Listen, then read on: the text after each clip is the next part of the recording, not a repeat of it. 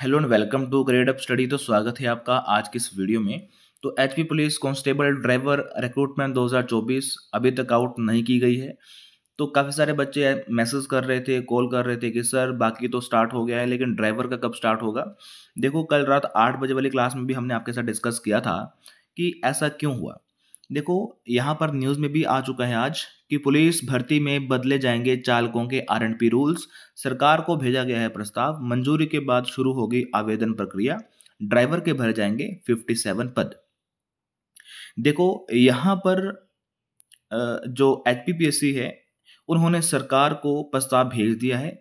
Are and P rules जैसे ही change हो जाएँगे या फिर मंजूरी मिल जाएगी, उसके बाद ही आपकी जो नोटिफिकेशन है वो आउट की जाएगी। यानी कि विद इन वीक आपकी जो नोटिफिकेशन है वो आउट की जा सकती है।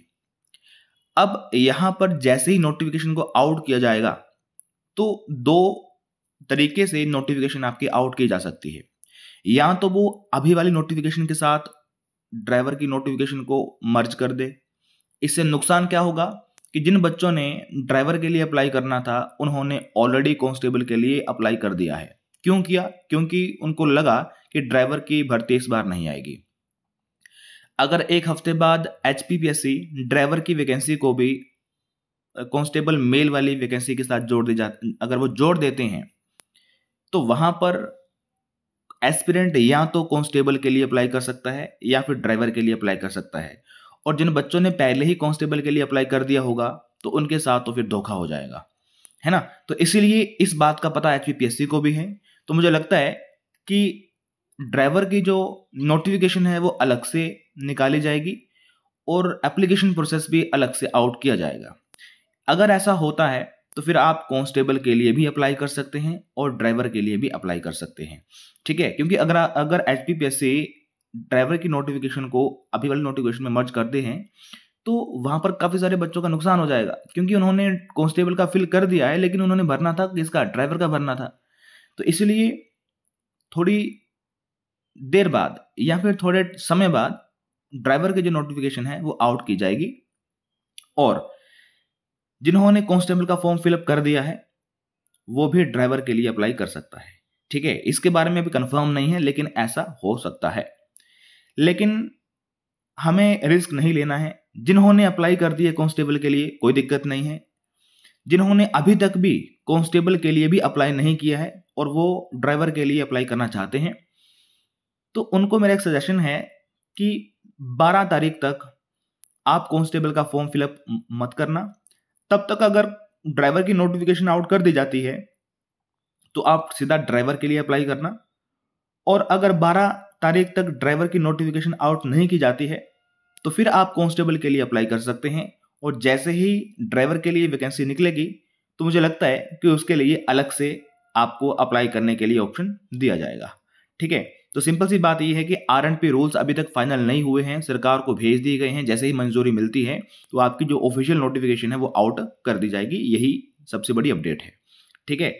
तो जिन्होंने अप्लाई कर दिया है, कोई दिक्कत नहीं है, अलग से अलग से ही नोटिफिकेशन आउट की जाएगी। और जिन्होंने अप्लाई नहीं किया है, वो 12 तारीख तक वेट करना। 12 तारीख तक अगर ड्राइवर के लिए अलग से नोटिफिकेशन आउट कर दी जाती है तो आप सीधा ड्राइवर के लिए अप्लाई करना। और अगर दोनों के लिए ही अगर आप अप्लाई कर सकते हैं, तब भी आप 12 तारीख के बाद ही ड्राइवर और कांस्टेबल के लिए अप्लाई करना। बाकी रही बात ग्राउंड की तो देखो ग्राउंड तो सेम टाइम पे ही होगा, है ना? तो उसका तो चलो ठीक है, बाद में देखते हैं, लेकिन फ़िलहाल 12 तारीख तक आप अप्लाई मत करना। अगर 12 तारीख तक ड्राइवर की वैकेंसी आउट नहीं की जाती है तो फिर आप कांस्टेबल के लिए अप्लाई कर सकते हैं।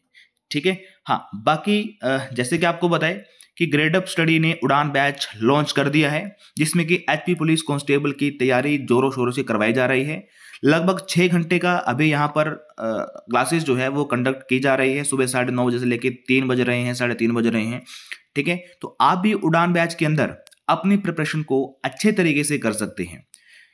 सभी सब्जेक्ट इसमें कवर किए जाते हैं लाइव कवर किए जाते हैं। उसके बाद सभी लाइव क्लासेस की जो रिकॉर्डिंग है, वो आपको grade up study app Udaan batch के अंदर देखने को मिल जाएगी। हर सोमवार को यहाँ पर वीकली मॉक टेस्ट होता है। पंद्रह फुल मॉक टेस्ट आपको इसमें दिए जाएँगे। इसके अलावा पर्सनल गाइडेंस कि किस प्रकार से आपको अपना टाइम मैनेज करना है, किस प्रकार से आपको पढ़ना है, किस सेक्शन पे आपको ज़्यादा फोकस करना है।